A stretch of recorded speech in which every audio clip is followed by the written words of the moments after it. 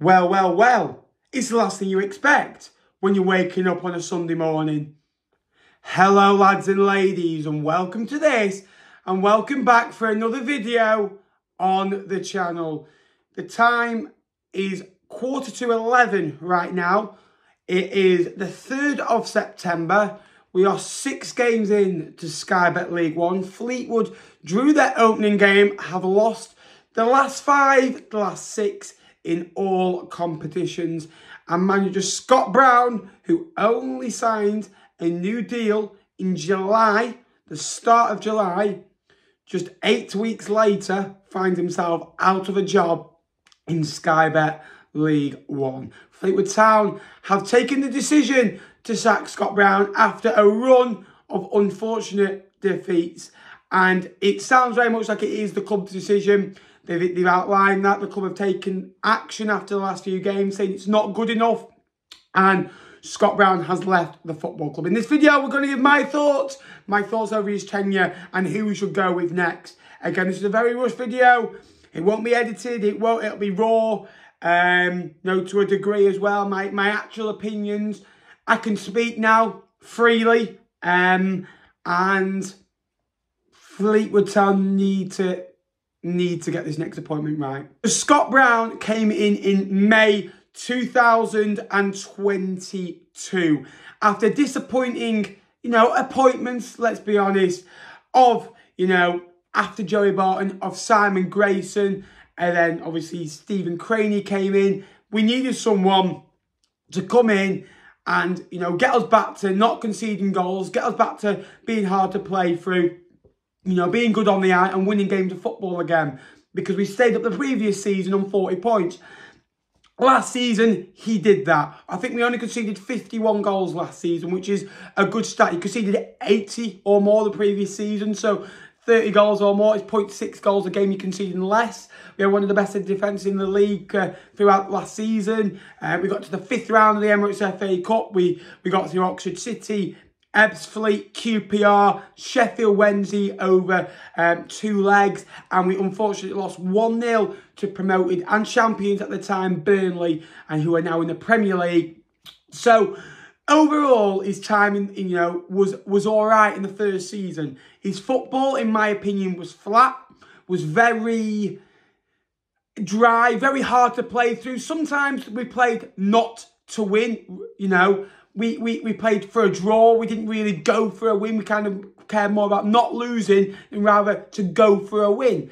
And that was a worry for me at times. And against Plymouth away from home, you drew nil-nil. It's all right. Ipswich, we drew 1-1. You know, we, we went to Hillsborough, you know, got a draw in, in, the cup. We only lost by a goal. We only lost by, a you know, by more than one goal last season twice. Portsmouth at home, 2-0. Wycombe away, 2-0. And they finished in the top 10 last season, both of them. So, again, our record against the better sides, we beat Plymouth at home, was good because we played this system of being hard to break down and hit him on the counter-attack. And again, we played not kind of not to lose, basically. However, where it, the problem came was extras away.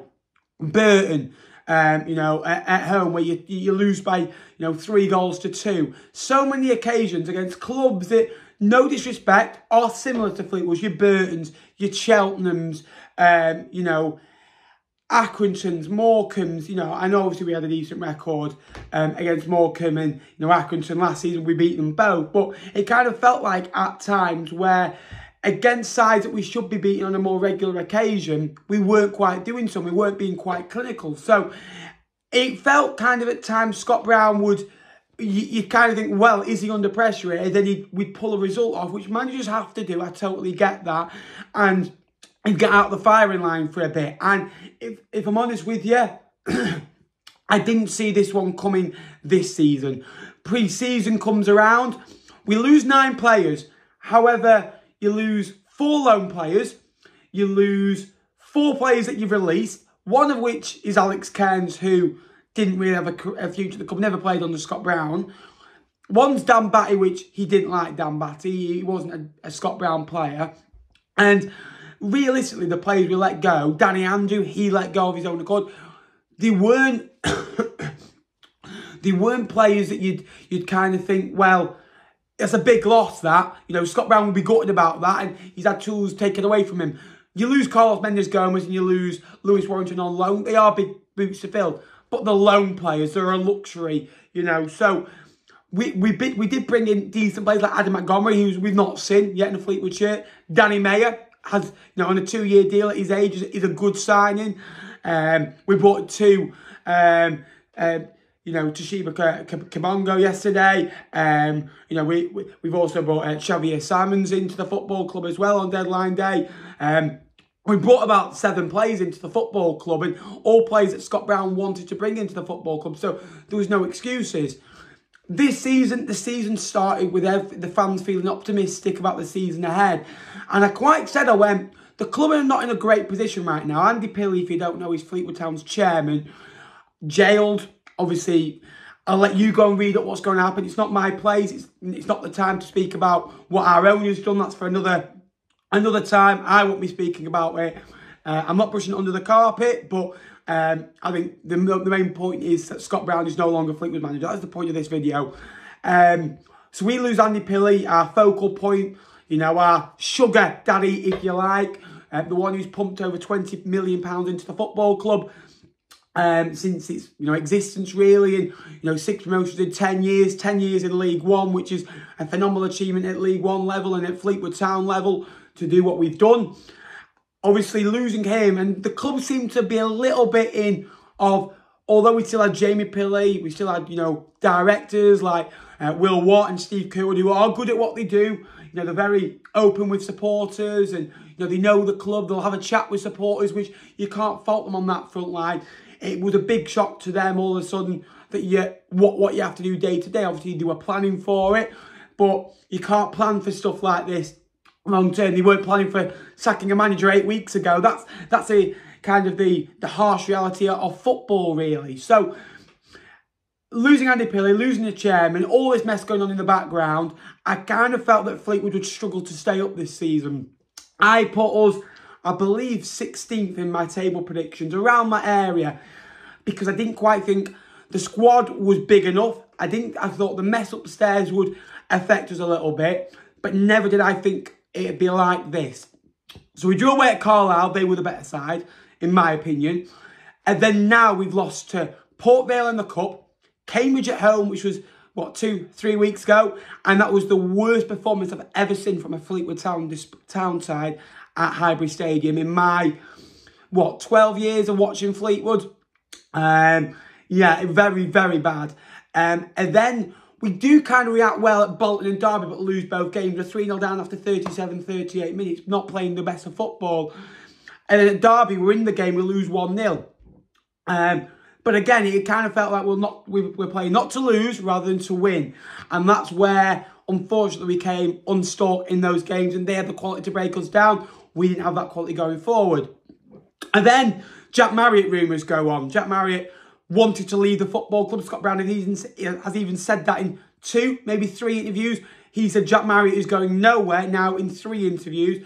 And he's basically saying Jack Marriott has got a hamstring strain whether he has or he hasn't. And that's kind of the way you think, wow, th there must be something going on at the football club. Jack Marriott obviously isn't a happy happy boy being at the football club. He wants to move, you know, move, move football club, whether that's to be with his family, whether that's football reasons. And at the moment, I can't blame him. And I'm always a big believer if a player isn't happy, you let them leave the football club. And you cash in, and I don't care we don't get as a good replacement, as long as they want to play for this badge, which is the most important thing within football, playing for your badge. As Alan, uh, as um, Chell would say, mean that badge to you. Um, there's one for no context, Chell. Um, and unfortunately, he doesn't want to play for the football club, and it's a shame. And then, you know, we, we played Shrewsbury last week, we were in the game, we, we created a couple of chances, we weren't great. Uh, don't let that, uh, you know a couple, you know, hitting the post, disillusion you. We, we, didn't play well at all, and then they hit you on the break. You have a, you have a man sent off a minute later, and I said Fleetwood do all the wrong stuff at the wrong time, but they never do anything at the right times, and that is where we're struggling at the moment. And Scott Brown, unfortunately, 51 games into his career. Look, you know that's well 52 were yesterday actually now. So he had 52 games. he had a 26.9 win percentage as Fleetwood Town manager. Earlier on, there was a lot of draws where it kind of felt like we were drawing games that we should be losing. The difference is now we're losing games that we were originally drawing. And that's what Scott Brown did last season, and that's what's changed this year. That clinical edge, that little bit of a, you know, a decision that's going their way or a of quality that's going their way and dropping their, you know, into their fortunes, that is the difference. And unfortunately, Scott Brown has paid the price and Fleetwood Town have, have got rid of him. One point from six, you know, you, you've lost to Cambridge and Shrewsbury, Charlton. They were, they were gettable opportunities to get points. And, you know, in my eyes, I think those teams, every team that have played Fleetwood will be thinking, we've got to beat Fleetwood. That's that's just the reality of football. That's, you know, but unfortunately, um, yeah, Scott Brown has left the football club. Elvis has left the building, um, some could say. But, um, yeah, it's... It, I'm shocked because I didn't quite think the club would make this move at this time. And obviously, these are just my raw thoughts at this moment in time. It's not structured, it's not planned. These are just based on my opinions. Do I think it's the right decision? Yes, I do. But it all depends on who comes in. Now, I, I know for a fact that Chris Beech will be linked to the job. He's a Fleetwood lad. He's at AFC Fylde as a, as a technical director now, I think, or, or head of football. And um, he was actually at an under-21s game the other day at Fleetwood as well. So it could be it could be someone like him. I would, would I would like someone like a Carl Robinson, a Danny Cowley. You know, I'd like these, but are they going to come to Fleetwood when you've got no owner, as stated, you're six games in, you've you know you've not won a game, you're on one point, you're three points adrift already. Um, a transfer window's closed. It's not a great squad. You've got a lot of injuries. You know, there's some good players, but it's not a brilliant overall squad. There's a lot of young players, a lot of you know, you know, royalty about it as well. So if I was, if I was, you know, and you know Andy Curwood, Jamie Pilley, I'd be thinking Carl Robinson, Danny Cowley would be the two. Carl Robinson as well did very well at Oxford. Needs to sort his family issues out. Um, my mate, you know, my good mate, oh friends, um, Jack Ward, uh, the Jack Ward Football Podcast, one of the best content creators on this platform, by the way. I recommend you go and check him out. Um, and obviously the stuff he's told me about Carl Robinson is that he does play attacking football, but he needs to sort his family affairs out. So um, I would take someone like that. It's come at a time where, you know, I was in bed this morning enjoying a sleep after, you know, travelling over nearly 600 miles yesterday. And Scott Brown club statement and I was gobsmacked. And I kept getting told that he will go if results go. And I went, I just couldn't see it with the mess that's going on in the background. So the club a need to sort his mess out in the background. We need to know what's going on in that football club because we don't at the moment know. The, the ethos of Fleetwood Town, the song that Fleetwood Walk Out is to is together in electric dreams. And one of the lines is we'll always be together no matter uh, how far it seems. And that is a quote that I'm sticking to by now. And that is a quote that we have to trust with the football club. It's come at a right time. And I say that we don't do the right stuff at the right times on the pitch. But off it, you think, well, we've got two weeks now with no league game. And then we go, we play Oxford, we play Burton. And then I think we've got Leyton Orient and Cheltenham all coming up. So it's opportunities there to get a manager in place for that Oxford game. And how, how big would it be if it was Carl Robinson managing against Oxford? But do I think it'll be Carl Robinson? I don't. Would I like it to be? Yes. So my overall thoughts was, I think it's right sacking Scott Brown, if I'm honest with you. It's six games in and you could say it's too early. We'll be still saying that in four games time, in five games time, in six games time. So there'll never ever be a you know a right time, you know, in people's heads, unfortunately. So Scott Brown, I thank him for what he's done for the football club, getting us to the fifth round of the Emirates FA Cup, breaking record there. He got us to the third round of the, the, you know, the EFL Cup last season. He kept us up last season, finished 13th, did okay last season. Didn't pull up any trees, but didn't you know, fail. We, we were expected to finish in that ball area with our squad, with our budget. We did. He did the job. Unfortunately, this season, it hasn't quite worked for him. And unfortunately, he, he's paid the paid the cost for that. And and Scott Brown has left the football club. Um, thank you very much for watching. Let me know your thoughts in below. Who do you think Fleetwood will get as a new manager as well? It's be, be a busy, busy day. And if you are watching this, we, we, we will have League One live later on tonight as well. And all that jazz. So please like, Please subscribe if you're a League One fan, a Fleetwood fan, anything, get subscribing down below as well as Fleetwood sack Scott Brown and Overall, a good decision. Need to get the right appointment in, though. It could end up being the wrong decision if they get the wrong appointment in, though. That's what I'll say. I wish Scott Brown all the best, but Fleetwood now can move onward together and hopefully we can start pulling off results because this is a hard, hard time to be a Fleetwood Town fan.